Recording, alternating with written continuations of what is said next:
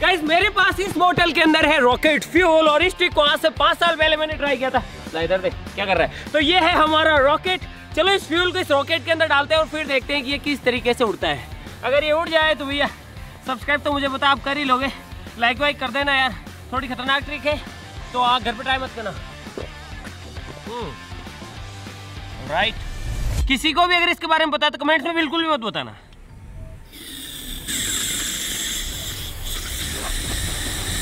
Right guys और अब देखना मैजिक एक दो.